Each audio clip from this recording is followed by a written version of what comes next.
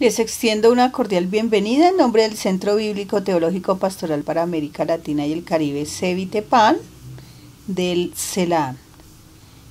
Eh, vamos a dar inicio al curso virtual asincrónico Evangelio de Mateo, que se llevará a cabo del 2 al 27 de mayo. El objetivo de este curso es presentar una visión de conjunto del Evangelio de Mateo abordando los temas básicos del estudio bíblico a través del conocimiento de las herramientas conceptuales y metodológicas.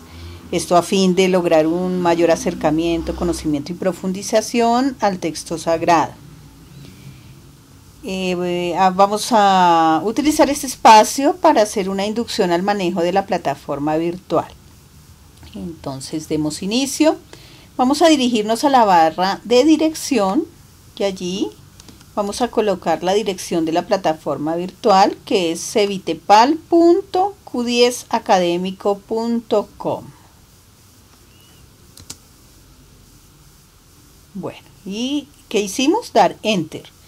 Llegamos a una primera ventana en donde se nos da una bienvenida, se nos entrega una referencia del Centro Bíblico Teológico Pastoral para América Latina y el Caribe Cevitepal y a mano derecha nos piden para ingresar a la plataforma el usuario y la contraseña. Entonces, el usuario y la contraseña es el número de identificación que nosotros registramos cuando hicimos la preinscripción al curso, ya sea el documento de identidad, la cédula, el DNI, bueno, ese número, o a veces es alfanumérico, ¿no? Con números y letras, guiones, etcétera es el que colocamos acá, exactamente como lo registramos.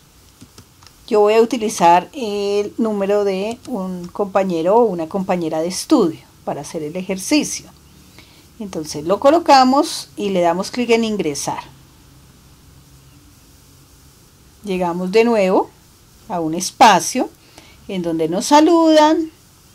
Eh, una aclaración, allí se entregan un correo electrónico para comunicarnos, pero les pido el favor de utilizar mejor el WhatsApp. ¿sí? Hemos creado el WhatsApp, tenemos comunicación por WhatsApp para tener pues una herramienta más directa de comunicación. Eh, les pido que cualquier inquietud me la manifiesten por allí. Ya sea si es una inquietud grupal, pues la podemos colocar en el WhatsApp general si está abierto. Y si no, por favor me envían un mensaje interno. Bien, ¿qué hacemos acá? Vamos a ir a la barra de menú que está en la parte superior y vamos a empezar revisando el menú académico. Damos clic en académico, nos acercamos a educación virtual y dentro de educación virtual cursos virtuales. Académico, educación virtual, cursos virtuales. Allí aparece el módulo 0, que son, pues es un módulo dedicado lo mismo al estudio de las generalidades e inducción al manejo de la plataforma, y el curso ya en general de Evangelio de Mateo. Vamos a entrar al módulo 0 primero. Siempre que ingresamos a un módulo, a mano izquierda encontramos un anuncio o varios anuncios. Allí cada semana yo les colocaré el anuncio de cuál es el tema de la semana, eh, eh, los datos de ingreso a la reunión sincrónica y de pronto otros mensajes pertinentes. Y a mano derecha entramos por la lección. En este caso es generalidades e inducción al manejo de la plataforma. Vamos a darle clic en la lección. Sencillísimo. Se nos presenta allí eh, una serie de ítems, no es sino que vayamos navegando uno por uno y haciendo la tarea que nos corresponde. Entonces, el primer ítem dice contenido, un momento para reflexionar. Le damos clic. Allí nos han colocado un video para que escuchemos y nos invitan a reflexionar, a hacer una reflexión específica con respecto a este video. Muy bien. Vamos a dar atrás. Segundo, aparece Cevitepal quiénes somos. Damos clic. Entonces, ¿qué encontrarán ustedes allí? Encuentran un video acerca de los servicios del Cevitepan, una invitación a entrar a la página web, a las redes sociales y adicionarse allí. Em, un ingreso a la lección divina, allí encontrarán la lección divina de los domingos. También un link en donde ustedes pueden dar clic y, e ingresar a la biblioteca del Cevitepan y un link en donde pueden acceder a la revista Medellín, que es una publicación del Cevitepan. Volvemos atrás. Todo esto tienen que leerlo y verlo con calma, ¿no? Yo estoy solamente haciendo un recorrido para que ustedes vean cómo funciona la plataforma. Luego viene la unidad 1, disposiciones personales para asumir la formación virtual. Le damos clic. Y allí ustedes van a encontrar, pues como lo dice el título, algunas sugerencias e indicaciones para que ustedes puedan llevar a cabo pues esta formación y llegar hasta el final.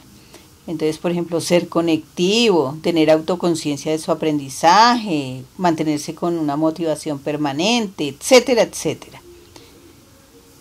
Es un espacio bastante interesante, por favor, léanlo. Volvemos atrás. Vamos a la unidad 2. Dice herramientas de la plataforma para el desarrollo del curso. Entonces aquí están especificadas cuáles son las herramientas que utiliza esta plataforma y pues es precisamente lo que les estoy explicando también con el video, ¿no? ¿Qué es un contenido? ¿Qué es un foro? ¿Qué es una tarea? ¿Qué es un cuestionario? Etcétera, etcétera. Volvemos atrás. Tenemos un foro para presentarnos. Entonces aquí vamos a aprender tres herramienticas, vamos a aprender cómo se manejan tres herramienticas que constantemente ustedes utilizan en la plataforma. Empezando por un foro. Démosle clic en el foro. Bueno, en este foro nos están invitando a presentarnos con nuestro nombre, país, actividad, ya sea personal, laboral o pastoral, y pues compartir todo lo que ustedes deseen, ¿no? A través de, de este espacio para conocerse con sus compañeros. ¿Cómo funciona este espacio? Bueno, hay un área blanca, la están viendo. Allí podemos saludar. Entonces, hola, soy tal persona.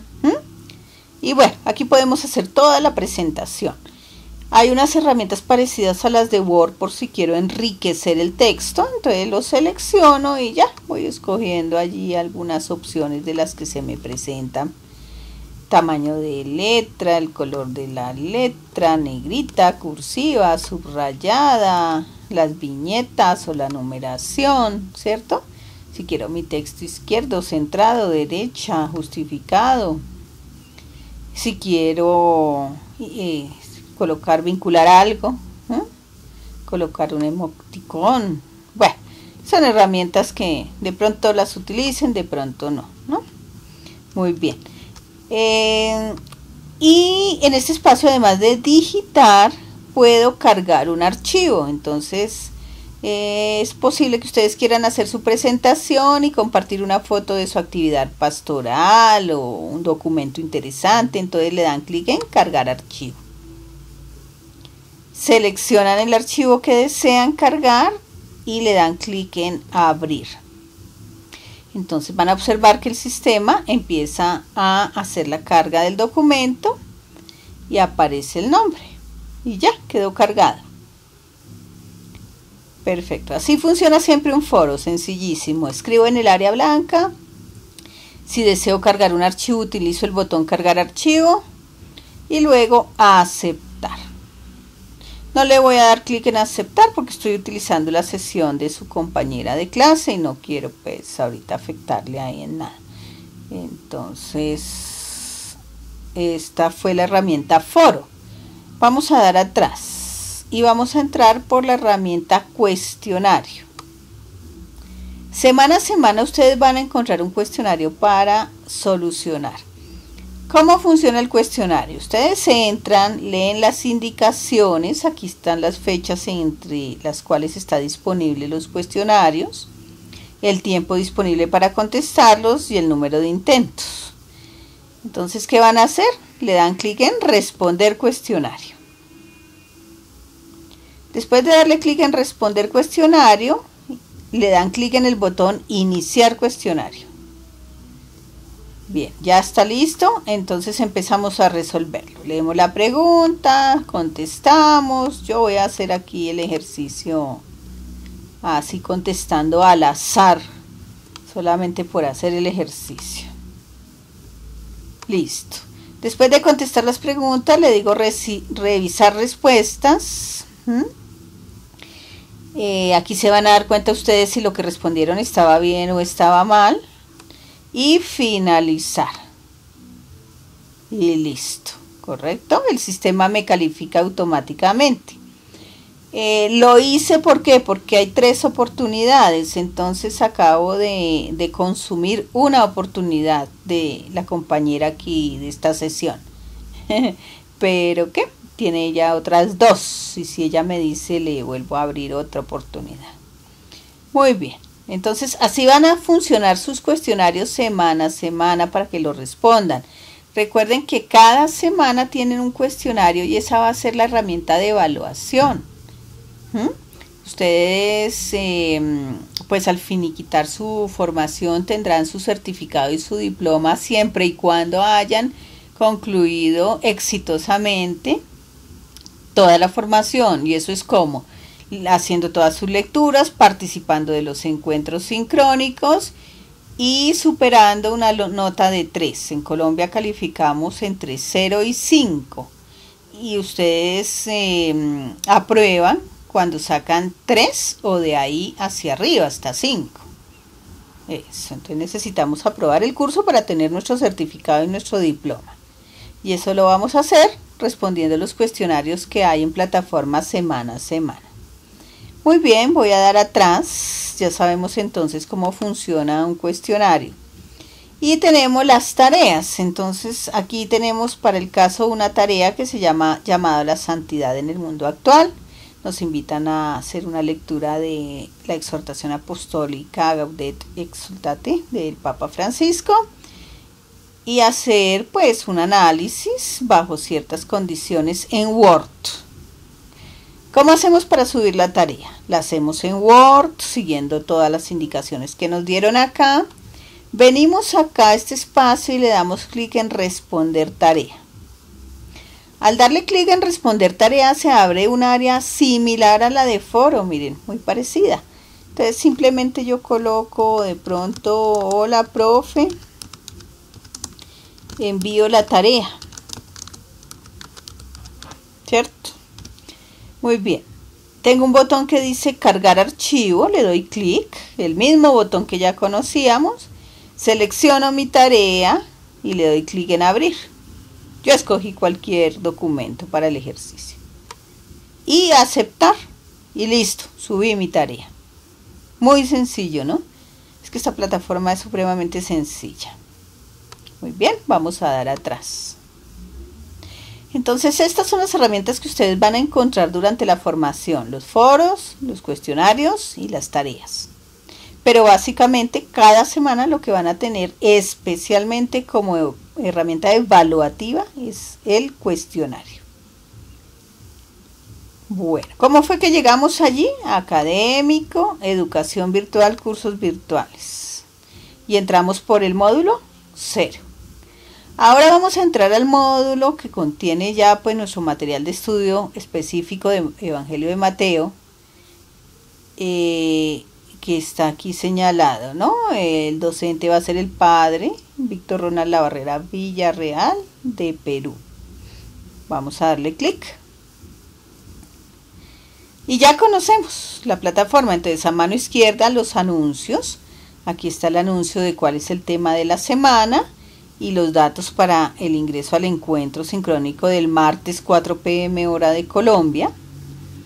A mano derecha la lección módulo 1 Introducción General Presentación del Mesías. Damos clic. Muy bien. ¿Y qué encontramos? Una reflexión inicial para hacer. ¿sí? Entonces les invitamos a que ingresen y hagan su reflexión. Atrás. ¿Qué más encontramos? La unidad 1, introducción al Evangelio de Mateo. La unidad 2, presentación del Mesías. pero dentro de pues, esta referencia, el rostro de Jesús en Mateo, la unidad 3, estructura y contenidos de los discursos presentes en el Evangelio de Mateo. Voy a entrar a una de esas unidades, unidad 3, por ejemplo. Ustedes tienen que ir una leyendo todo, la 2, la 3. Yo entré a la 3. Entonces ahí están los contenidos. En algunas ocasiones se encuentran videos, presentaciones. Bueno, acá está todo el material de estudio. Miren que por ejemplo acá hay un PDF adjunto. Vamos a darle clic. Eso, y aquí se abrió ese PDF. Muy bien, lo puedo leer, lo puedo descargar. Arriba a mano derecha aparece una flechita de descargar. Lo puedo cerrar. Arriba mano derecha está la opción cerrar. Vamos a dar atrás. Muy bien. ¿Qué más tenemos para esta semana? Entonces, como les decía, un foro. Es el foro Comparte y Resuelve tus inquietudes. Es importante que aquí en este foro vayan colocando ustedes sus inquietudes semana a semana para que también las podamos mm, organizar y en el encuentro sincrónico despejar. Y si tienen aportes, bienvenidos. Ya sabemos utilizar la herramienta foro. ¿cierto? Ya sabemos que tiene el botón cargar archivo si deseamos adjuntar algo. Atrás y está el cuestionario evaluativo que les nombraba de cada semana. Vamos a darle clic. También ya sabemos que para iniciarlo le damos clic en responder cuestionario. Muy bien. Eso es. Atrás. Muy sencillo, ¿no? Eh, volvemos, académico, educación virtual, cursos virtuales. Aquí estamos viendo los ingresos al módulo 0 y a Evangelio de Mateo, ya los contenidos específicos generales. Bien. ¿Qué otro menú me interesa o les interesa a ustedes como alumnos? En la parte superior, en la barra de menú, hay un menú que dice resultados de evaluación. Si le damos clic allí, hay una opción que dice programa escogemos el programa del que queremos ver los resultados. Por ejemplo, aquí su compañera de estudio ha hecho el diplomado en pastoral vocacional en Evangelio de Marcos y ahora va a ser Evangelio de Mateo. Entonces ella quiere ver cómo van sus notas de Evangelio de Mateo. Escoge Evangelio de Mateo del año 2022. Y poco a poco van ustedes a observar acá las notas que van, se van acumulando, ¿no? Eso es en resultados de evaluación. Esto de estado de cuenta no lo utilizamos, esto es para llevar cuentas económicas, pero aquí no utilizamos esto en el CEBITEPAL. Em, tenemos el menú institucional, ese sí nos interesa, y nos interesa de ahí dos aspectos, institucional, actualización de información, Allí aparecen todos los datos que ustedes registraron cuando hicieron su matrícula. Les pido el favor que lo revisen y si tienen algún dato incorrecto nos comuniquen y nosotros les corregimos. ¿Por qué? Porque resulta que desde acá mismo se generan sus certificados y sus diplomas. Entonces, si ustedes digitaron mal el nombre, pues así sale en el diploma. ¿Ah? si digitaron mal su correo electrónico, pues nunca les va a llegar ni el link de pago, ni les va a llegar el diploma, ¿sí? ningún comunicado. Entonces, por favor, revisen sus datos y si tienen algo para corregir, nos comunican por WhatsApp y con gusto les corregimos. ¿Qué más tenemos en institucional? Una opción que dice bienestar institucional, responder encuestas. Correcto. Al finalizar esta formación les voy a activar una encuesta para que ustedes den su opinión de cómo les pareció la formación, la metodología, etc. Entonces esa encuesta aparecerá en institucional, bienestar institucional, responder, encuesta. ¿Mm?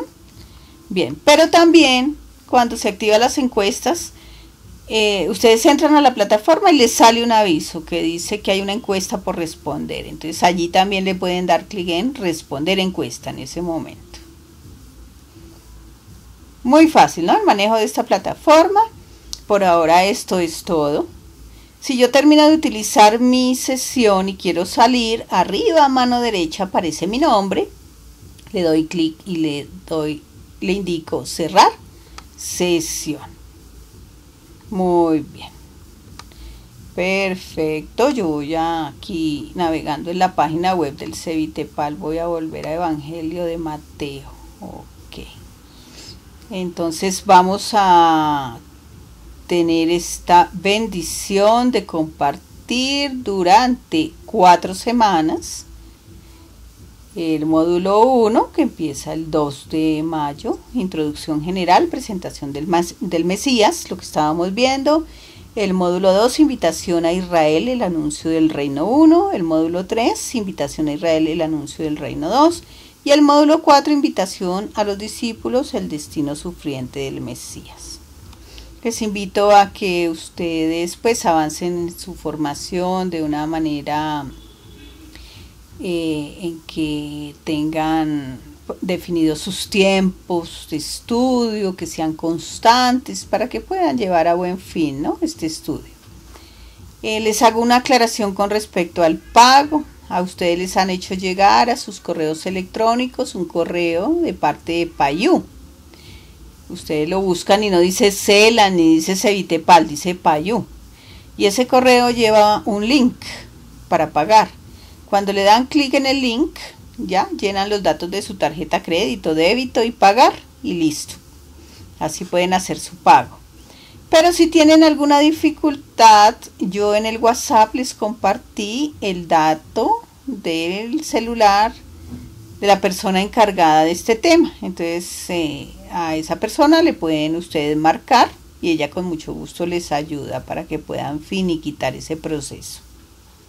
Bueno, de nuevo les doy la bienvenida.